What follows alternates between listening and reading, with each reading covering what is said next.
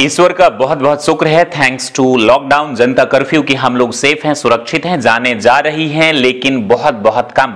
अगर हमने इस विपरीत परिस्थितियों का मुकाबला बिल्कुल धैर्य से किया तो हमारा कुछ नहीं बिगड़ेगा। क्योंकि इतिहास गवाह है, ऐसी चीज़ों ने, ऐसा मौत का तांडव खेला। कि दुनिया की आधी आधी आबादी। माफ़ कीजिएगा, कई कई महादेश के आधी आबादी को ऐसे तांडवों ने निगल लिया। अभी क्या है कि अवेयरनेस की वजह से मीडिया की वजह से, मैं कई बार मीडिया से मेरी शिकायत रहती है और मैं इन्हें बहुत ज़्यादा कोसता हूँ, अपने स्टूडेंट्स यानी बच्चों से भी बताता हूँ कि मीडिया पे 100 परसेंट बिलीव नहीं करो।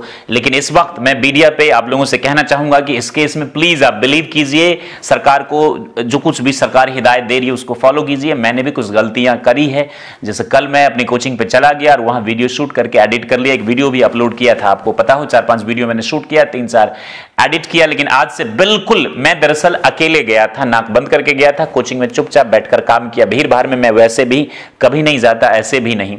बहुत सारी चीज़ों को परहेज करके रखता। मुझे लगा अकेले जाऊँगा तो ये चीज़ें हो सकती है क्योंकि मैंने किसी के टच में, किसी का कोई सहारा नहीं लिया था। अच्छा दोस्तों, मैंने कहा, इसलिए ये चीज़ की आधी आबादी हमारी और पूरी दुनिया की खत्म हो जाती। इतना ज़्यादा स्ट्रांग ये तेज़ी से फैल रहा है चीज़ों को लेकर ये बहुत ज़्यादा नुकसानदेह उनके लिए है जिनका इम्यूनिटी सिस्टम कमज़ोर है। पते की बात ये बताऊँ कि 1918 में स्पेनिश फ्लू नाम का एक वायरस आया था। बताया जाता है कि अमेरिका से इसकी शुरुआत हुई थी लेकिन कहीं से भी हुई अमेरिका से हु, हुई हो या चाइना से हुई हो इसने पाँच करोड़ लोगों की जाने ली थी। जी हाँ पौने दो करोड़ लोगों की जाने सिर्फ़ हिंदुस्तान से गई थी और बताया जाता है कि गांधी जी भी इसके चपेट में आ गए थे।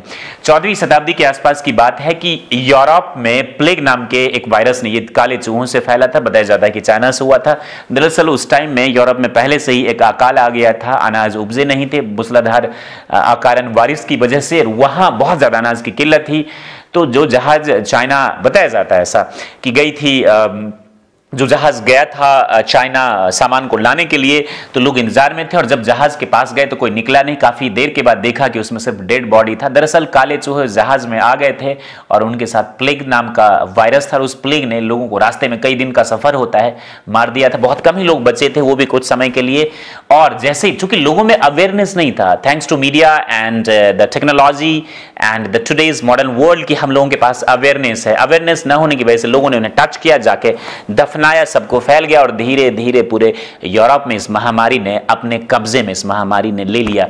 उस वक्त पुलिस को भी प्लेग हो गया, सरकार को भी, ना सरकार ऑर्डर देने के लिए था, ना पुलिस प्रशासन लोगों पर नज़र रखने के लिए। बहुत आप सुरक्षित हैं, महफूज हैं कि आप बीसवीं शताब्दी में हैं। आप और हम, पूरे यूरोप में बताया जाता है कि 50 प्रतिशत आबादी को अपने कब्जे में ले लिया और लोग मर गए। कुछ सोर्स ये भी बताते हैं कि 70 प्रतिशत यूरोप की आबादी खत्म हो गई दोस्तों। उसके बाद हम बात करते हैं 1918 अभी अभी आपको बताया कि आ, 1940 में जब कॉलेरा यानी कि हैजा आया था गंदे पानी और खराब खाना खाने की वजह से इसने गाँव के गाँव साफ़ करने शुरू कर दिए थे। 1990 के आसपास इसका टीका बना था और जो लोगों को देना शुरू किया था, अभी भी हैजा की वजह से प्रत्येक साल लोगों की जाने जाती है। हम लोगों को पता कम चलता है, चूँकि ये चीज़ न्यूज़ में नहीं आता है। उन्नीस में प्लेग वही जो चौदहवीं शताब्दी में यूरोप में जिसने कहर बरपाया था, सूरत पे। सूरत चूँकि एक इंटरनेशनल प्लेस है, वहाँ समुद्र के ज़रिए आया होगा ट्रेड के ज़रिए, चूँकि वहाँ हीरे और कपड़ों का बहुत इंटरनेशनल लेवल का व्यवसाय होता है। तो उस जगह पे एक आदमी को हुआ और पता चला एक दिन के अंदर 500 लोग मर गए और फिर पूरे सूरत में ये हंगामा बरप गया और 25 प्रतिशत लोगों ने उस शहर को खाली करके चले गए। यूपी, बिहार के जो लोग वहाँ काम करते थे, जब वो वहाँ से घर भाग अपने घर आए तो घर में फैलाना शुरू किया और पूरे गाँव के गाँव साफ़ होने लगे थे। इस वक्त भी लोग गलतियाँ कर रहे हैं। भागे जा रहे हैं अपने गाँव, शहर को। जो जहीं, जहाँ है, वहीं रुक जाइएगा। प्लीज़ कहीं मत जाइए आप इस वक्त। आप जहाँ हैं, वहाँ रहेंगे, चुपचाप रहेंगे, सेफ़ रहेंगे। कोरोना भाग नहीं आता हम लोगों को पकड़ने के लिए। अगर हम जाए, ज़बरदस्ती तभी ये हमको होगा, वरना कुछ नहीं बिगाड़ेगा। मैं अपने घर में, आप अपने घर में, हम सेफ़ हैं, महफूज हैं, जहाँ भी है। क्या होगा एक दो दिन अगर हम खाना नहीं खाएँगे, चेचक ने भी यही आतंक, यानी कि छोटी माता, बड़ी माता स्मॉल पॉक्स चिकन पॉक्स ने फैला था, जिसका अभी तक कोई टीका नहीं है, छह सात दिन अकेले रहे, परहेज करे, खाना मेंटेन करे तो आप बिल्कुल फिट एंड फाइन हो जाएँगे।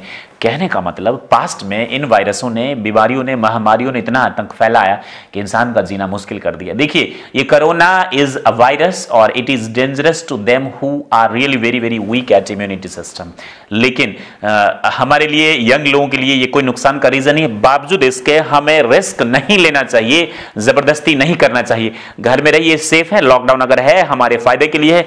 कुछ लोग किसान नेता और धार्मिक लोग इस बात का दावा कर रहे हैं कहीं कुछ नहीं होगा। ये राजनीतिक षड्यंत्र है, किसी भी तरीके की कोई चीज़ नहीं, जान बचाओ तो जहान है, सब कुछ ठीक हो जाएगा। अरे भाई, कुछ लोग किसानों की वकालत कर रहे हैं, अगर जान बचेगा तो लाखों करोड़ों टन आप अनाज फिर उपजा लेंगे, ज़मीन खरीदेंगे, बनाएँगे, अगर जान ही नहीं बचेगा तो क्या करोगे? ये एक ऐसी चीज़ है जिसको हम देख नहीं सकते और मौत हमारे सामने है। हमारे सामने का मतलब कब किसको कैसे हो जाए, कुछ चीज़ें जो हम बिल्कुल परहेज कर रहे हैं, जैसे हाथ नहीं मिलाते हैं, नज़दीक नहीं जाते हैं, लेकिन हाँ सब्ज़ी भी खरीद कर लाए तो तकरीबन बारह घंटे इसको आप अकेले अलग जगहों पर छोड़ दीजिएगा, फिर लाकर आप खाइएगा पानी वाले से अननेसेसरली उस बॉटल को मत टच कीजिएगा। गेट को हर जगह जहाँ हर लोग टच करें लिफ्ट के बटन को, ऐसी चीज़ों को लोगों के पास अगर आपने रुमाल भी बांधा तो एक बार बांधने के बाद उसे पानी में डाल दीजिए, ताकि जब वो दोबारा साफ़ हो जाए, तभी आप उसको पहन सके। जो मास्क आप यूज़ करते हैं, उसको आप अलग रख दें। उस मास्क को दोबारा मत टच करें। ध्यान रखें, खास तौर से इन चीज़ों का कुछ नहीं होगा। लॉकडाउन और जनता कर्फ्यू का स्वागत करें।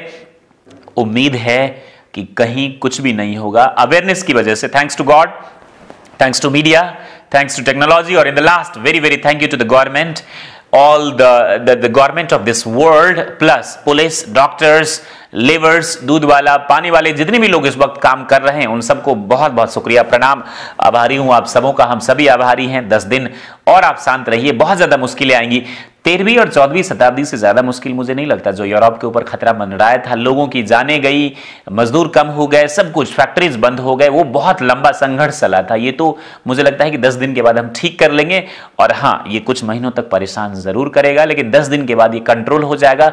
बिल्कुल धैर्य रखिए, सब कुछ ठीक हो जाएगा। मैं अपने बच्चों, यानी माइक्री डॉक्टर के स्टूडेंट से कहना चाहूँगा, घर पर रहिए, हिफाजत से रहिए। कोशिश करता हूँ कि घर से वीडियोज़ बना बना के अपलोड करूँगा। आप उसी से देखिए, पढ़िए, सीखिए और आगे बढ़िए। फिर मिलेंगे आपसे। बहुत जल्दी आपका समय शुभ हो। जय हिंद जय भारत।